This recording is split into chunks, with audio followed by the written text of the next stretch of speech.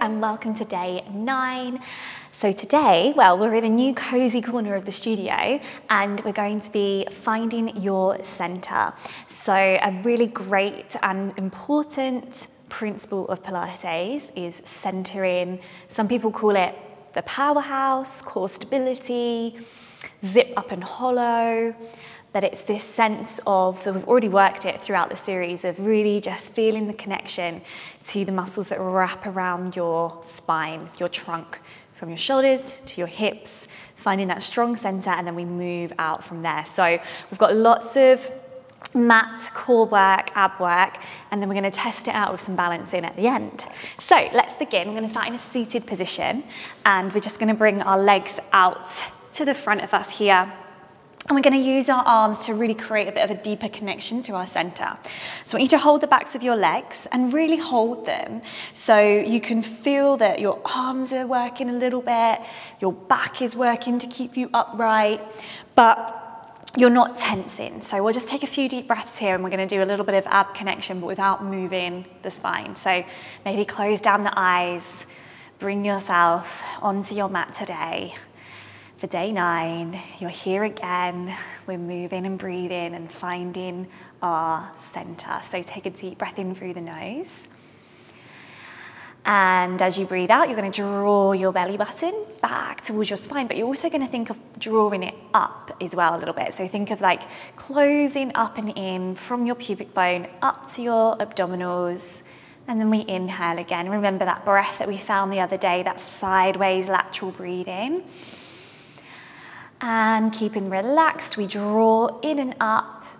If you kind of feel like it's like you're trying to, lots of people talk about the pelvic floor is like trying to stop yourself going to the, to the wee. So it's that sort of pulling in, in, in, feeling that control, and then you can let it go again as well, okay?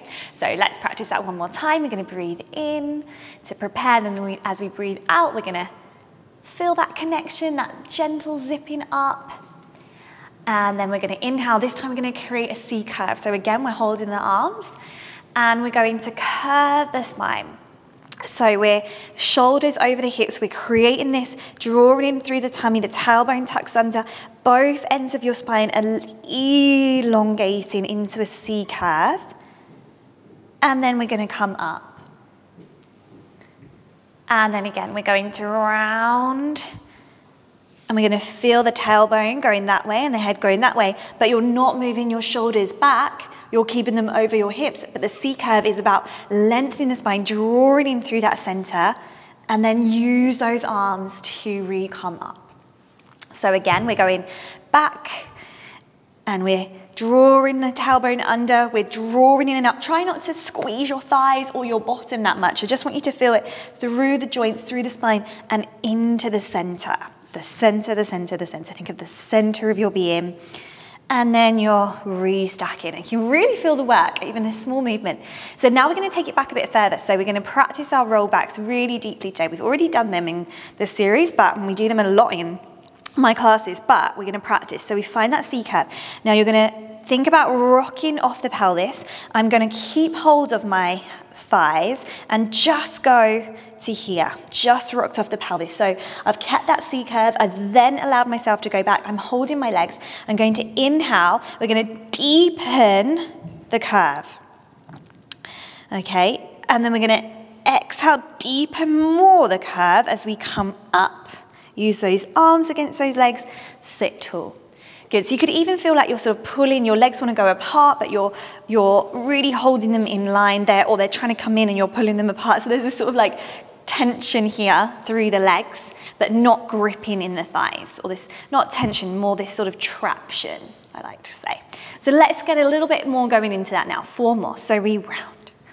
Curving, we go back, tucking your pelvis under scooping, really try and get this attention to detail as we lift back to. Using those back extensors, find that C curve, break it down for me, take it back, curling under. I'm using my arms, I'm just straightening those arms today, I'm keeping them there, and then we're deepening that connection, and we're coming up. Good. We're going to go again. We're going to find that C curve We're using that traction, hands against the legs, and we're tipping back, checking that we're not wavering left to right. And then deepening that center for me. Hold, hold, hold. Then come up after you've deepened that center and you're lifting toward the top. Now we're gonna add some arms. So again, we're gonna find that deep C curve, find that center.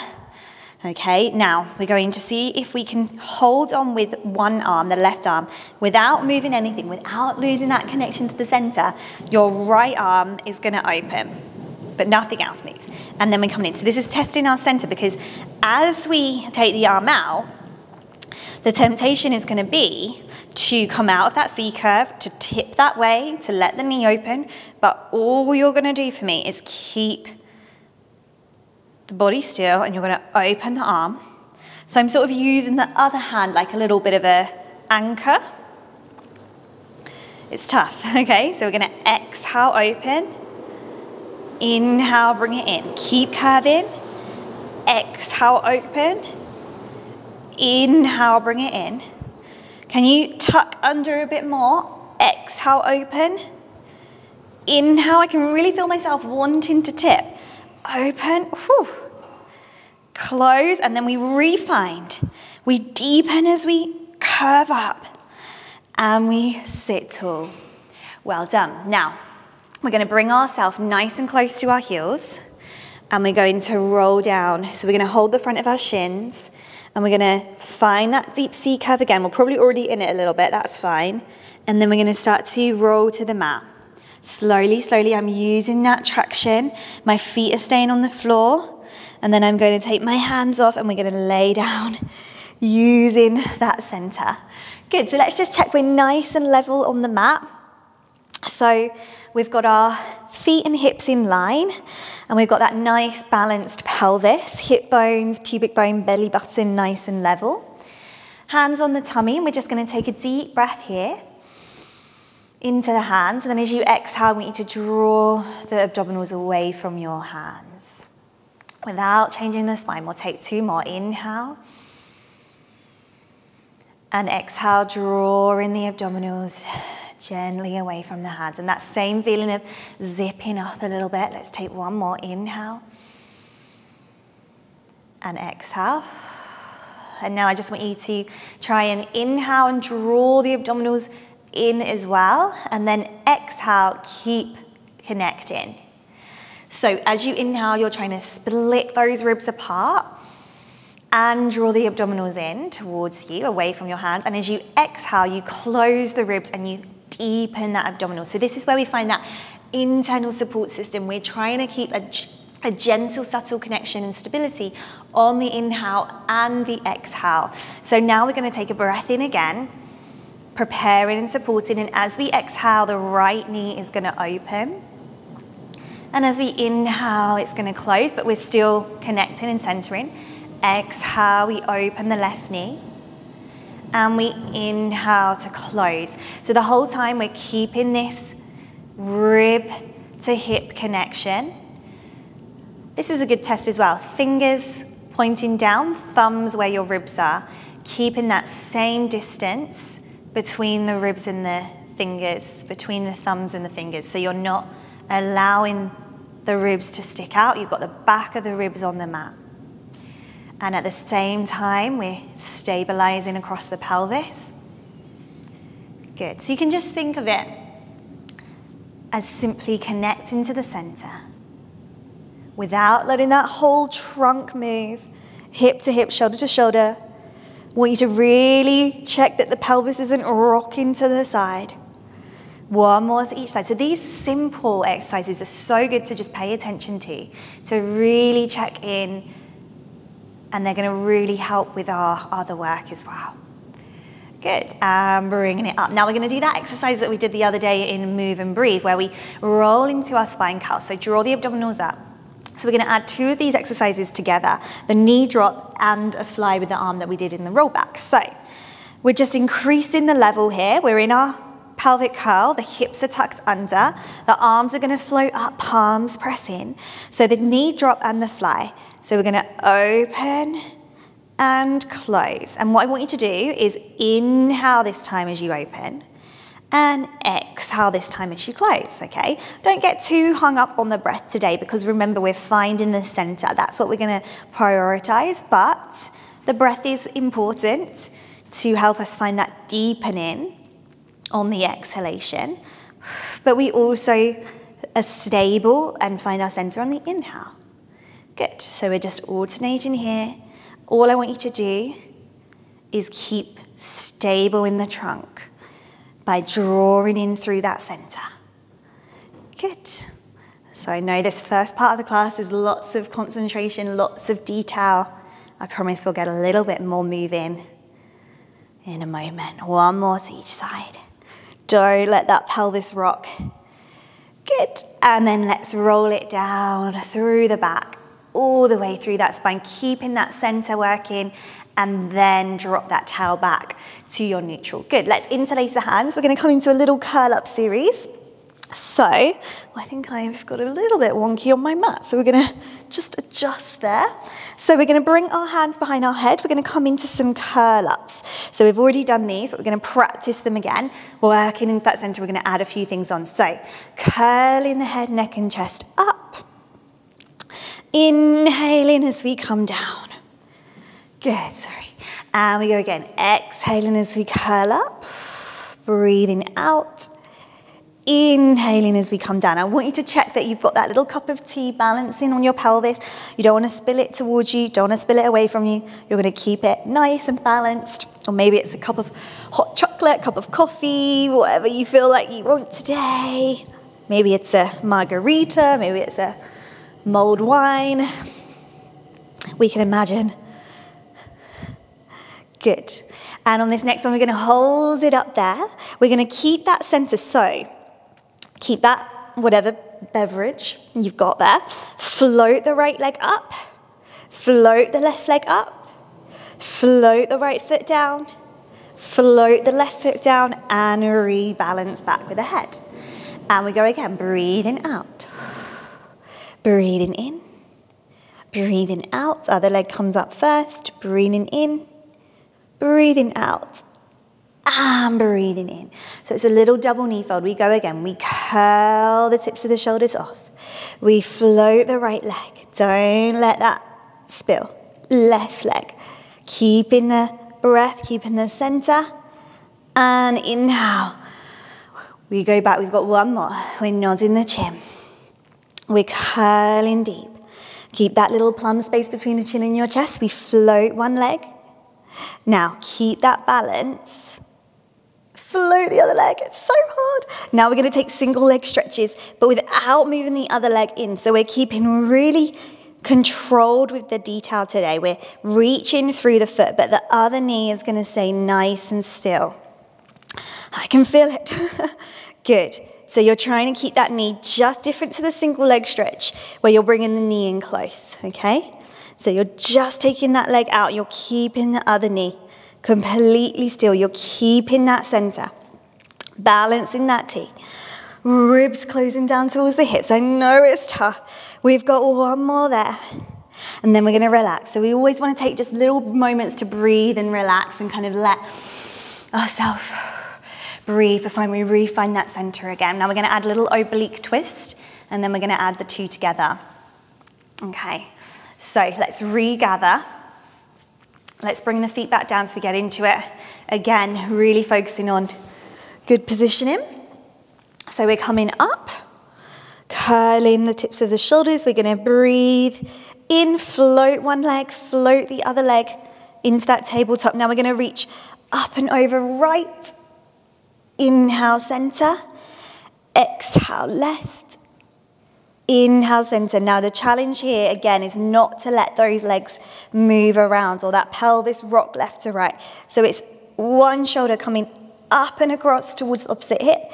Inhale, exhale. Let's do four more. Four, three, two, one, and hug the knees.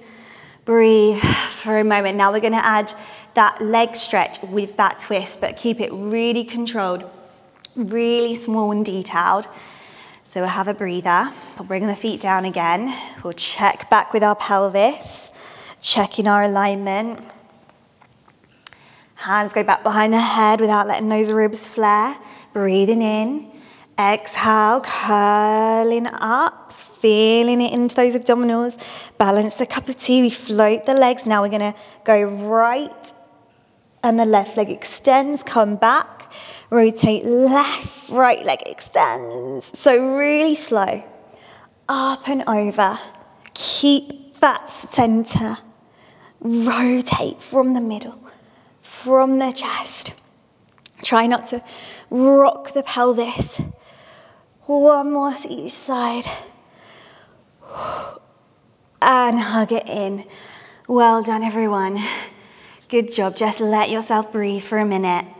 Give your hips a little hug. Maybe the thighs are a bit grippy, but that's, you know, that can happen. Just give them a little release. Hug them in. Release them out. Try and bring it into the center if that happens. So we're going to come into our roll ups. Okay, and then we're going to add a little double leg lower. Okay. So we're going to stretch the legs out along the mat now. We're going to do this nice rolling up and down through the spine.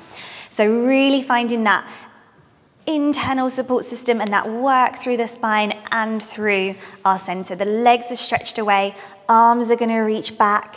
We're going to start to inhale, the arms lift, head curls up. We press the low back down and we roll all the way up and over those legs. And then we come down again from there through the spine, reaching out bone by bone. And the arms come back, gather the ribs. So this is what I really want you to focus on today. As the arms go back, don't let the ribs flare out because we've got that lovely connection. Inhale, reach through the legs. Exhale, coiling in, curving. Now find that C curve that we found earlier, deepen it as we go over those legs. Now you don't restack here, you keep that C curve and we go down through the spine. So you could always practice by bending the knees. Reach out through those legs as you come down. Remember those ribs for me as the arms go back. Good, and again, we curl up. Can you draw the tummy in? Can you press the low back down? Can you reach out through those legs as you go up and over? Really lovely stretch for the back of the body, for the back of the legs, and we come down again. Try not to let those shoulders bunch up by the ears. Imagine you're holding something in your hands nice and level. Low back down, reach through the legs. Arms go back. Good, rolling up into the center, coiling up, breathing out, using that connection to the breath to find a deeper connection to your abdominals. Good. Now we're going down. Try not to let those legs ping away from you, reach them out. Good. And we've got one more. Press that low back down.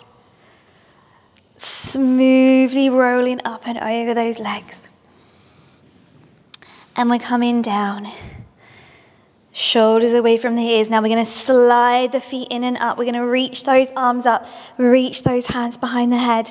And we're going to take little double toe taps here. We're going to inhale and exhale. Chest is lifted. Inhale and exhale. You can always just take singles or try those doubles. Maybe they don't touch the floor, but you're going to really try and keep that cup of tea nice and still.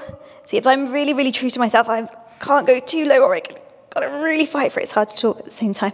Let's do four more. Four. Three double toe taps, legs squeezing together. Keep that chest lifted. Two more. Inhale down, exhale, last one and relax. Well done. We have really found our center. So what we're going to do is we're going to challenge. I'm just going to scoot down my mat a bit. We're going to challenge that with some different positions down. We're going to come into a side lying movement and then some planking to come up and then a bit of balance at the top. So we are going to come onto our side. We're going to do a little oyster. So we've definitely found that center. Now we're going to come onto the side and we're going to find a little high oyster. So we're in a little side plank. Hand is away from the body. And we're going to lift our hips up and we're going to do a little set of oysters. So what we're doing is we're sort of challenging the shape of the exercise, what else is going on, but the, the principles of of what we've just worked on the mat are the same, okay? 20 on each side for me. So find that connection to the shoulder, the center, breathe in, breathe out, lift your hips up, squeeze your bottom, and we open and close 20 times.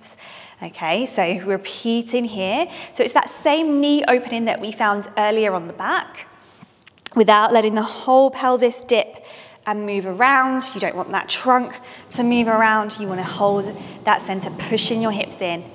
Okay, we've got 10 more. 10, 9, 8, squeezing those glutes. The glutes are part of your core. You've got 6, 5, 4, 3, 2, hold it there for one and press your hips forwards. Check that hip is forward and then up and down. Just 10, 9, eight, don't let the whole body move, seven, six, five, four, three, two, one, and control it down. Good, other side, let's just gently bring the legs around, little transition. So, feet are together, hands is a little bit away from the body. We lift our hips, we keep them level. Imagine you were laying on your back, and here we go again. 20 here. heels together. Good. Breathe. Last 12. 10, 9, 7, 6, 5. It's a challenging position. 4, but we've connected. 3, two, opening your chest, hold for one, little ups and downs, squeeze your underneath bottom, keep the top hip forward, you've got 10, 9, 8, 7, 6, 5, 4, 3, 2, 1, and lower with control those hips down. Well done. Now we're just going to do a little bit of a plank and we're going to do our little push up. We're going to walk up to standing and then test in balance in standing. I've put some cream on my body and it's gone all over the mat. Oh dear. So let's just come onto all fours. Okay, so we're going to just first of all take our lovely tabletop. So it's one of the simplest but really, really good exercises to do. It's kind of like up in those top 10 Pilates exercises that if you just do them every day, you're going to be solid. And obviously, we love to be creative and change things up. But this one, I think, is a great one to come back to you every time. So it's your tabletop, or some people call it Superman or Bird Dog. But we're going to just alternate. And this is an excellent exercise to challenge your center. Keeping that shoulder to shoulder, hip to hip, that squareness, that box. Okay. And of course, we're feeling other parts of the body working, but prioritizing that balance. Good. So we could inhale, exhale, inhale, exhale. Inhale, just keeping that rhythm. Exhale, inhale, exhale. Inhale, reach. Connect, exhale, try not to go out to the side. Inhale, exhale. One more in here, inhale, exhale, inhale, exhale. Good, tuck your toes under and then hover your knees, drawing your center in. Step your right leg back, step your left leg back. Look at that, we're in a plank. We're strong and centered, we're lifting our hips. Now you're going to take three steps with your hands to get back to your feet. So I love to do this one in my live classes. So we go one, two, three, we're back in, and then we're going to roll up to standing. So it's really testing that balance stability. We're going to roll those shoulders open, look tall. We're going to coil in just like that, roll up as we go down, and we're going to take three steps out to get to plank. So it's quite challenging. You go one, try not to wobble the hips, two, three, you're in your plank. Then we're going to come back in. One, two, three. And we're softening the knees. We're coming up. Head in. We're rolling up. And we're going to go again. Rolling down. Breathing out. Up and over. Three steps. Maybe use the other hand. Oh, I haven't done that. One in a while, two, three. It can feel quite different to go with the other hand. First, one, two, three. Rolling up. So maybe today you're taking five steps with the hands, then you could try four, then you could try three if you want to. Let's do it one more time. That's the challenge. We're going down. So you've got to find this sort of up and over through the center to take that first leap with the hand, that first step. Try not to wobble those hips. I think mine were a bit wobbly there. One, two, three. We're in and we're up, slowly up, grounding and coming tall. Okay, so we're gonna stand and just do a little bit of balancing work to test all of that mat work in our standing. So bring your feet a touch closer together, grow tall, find that box, find that squareness, transfer your weight onto one foot, lift the other heel. Now that might just be where you're balancing today, or you're gonna see if you can bring the leg up. We're gonna hold the thigh and we're gonna open the leg to the side. So this is gonna really help us with our dynamic work, our HIIT sessions, our lunges, our standing on one leg, and then we're gonna bring that leg down, okay? So nice and stable. Other side, we're gonna stand on that leg, bring the leg up from that pelvic floor, from that center. Keeping your eyes focused as you open the leg, just the knee. Remember, we practice this, we practice this. so you can do it. Don't forget about it now. Calm. Remember, it's just that leg opening, not the whole body. The same time, the other leg is grounding down. Thank you so much for staying with me today because I know that this deeper attention to the work can take a lot of patience and a lot of concentration. So you've done amazing to stay with it. And we are changing things up tomorrow. Uh, we're going to do something quite fun. So you've got that to look forward to. But I hope you're enjoying the variety of the classes, and I'll see you again tomorrow. Well done, guys. Goodbye.